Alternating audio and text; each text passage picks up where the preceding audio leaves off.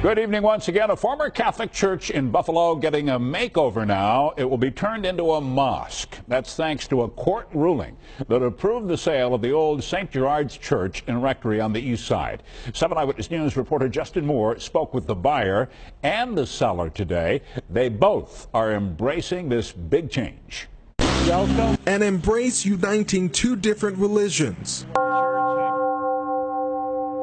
The bell tower at St. Gerard's Church on Buffalo's east side once called people to worship every Sunday. Soon it will ring every Friday. This building has been closed for almost seven, eight years, and we want to put a new life into it and make sure that this was a place of worship and it's going to continue to be a place of worship. Ahmad Shabi and two others are planning to convert the century-old church into a mosque. They purchased the vacant building at the corner of Delavan and Bailey Avenue for $120,000. There's a big Muslim community here and uh, we wanted to be here. This is a good building. The sale faced its fair share of legal challenges from some members of the local Catholic community. They viewed the sale as financially flawed and insulting to generations of parishioners who funded the church. A lot of sentiments and emotions are involved when you have your sacred place uh, being sold to someone else. We do worship uh, the same God, although some people think that we don't.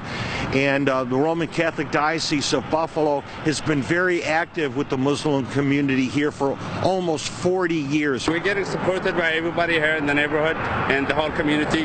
As you know, we are part of the community and we will continue to be a part and work with the community. As of right now, the new owner is hoping the mosque is open and ready for prayer by July. On Buffalo's east side, Justin Moore, 7 Eyewitness News.